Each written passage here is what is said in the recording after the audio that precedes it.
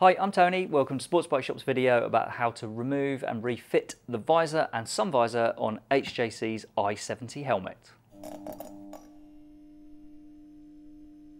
Right, the i70, changing the visor and the sun visor on this both really simple, so hopefully this is going to be quick.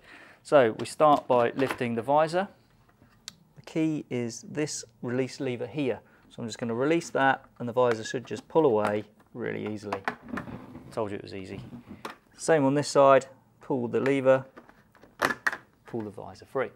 So putting it back on, really simple as well, but there's a lug on the visor, so I'm going to seat this lug on the visor under this part of the mounting plate just here. So that's the first step. Just push that under there like that. Seat this tab into its groove and then we're going to push at the back. Should get a nice satisfying click as it goes in place.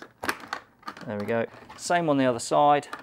So this tab here, just under that lip there, push that tab home, click at the back, give it a quick check, and that's that sorted. So sun visor, again on this one, really easy. We're just going to operate this, the sun visor on this switch on the side, ping that down. It's just a case of pulling the visor down slightly, getting hold of it at this edge, and pulling it clear from its housing like that. Do the same on the other side. Pull, release it, and the sun visor's out.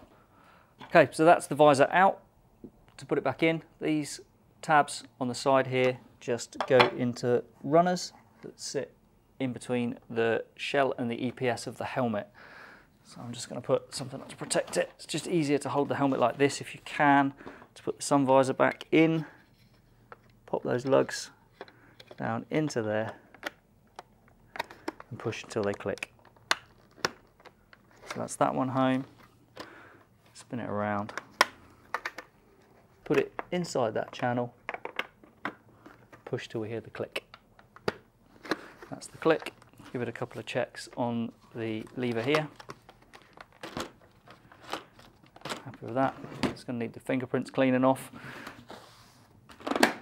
Otherwise, that's how you replace the sun visor and the main visor on an HJC i70. Thanks for watching.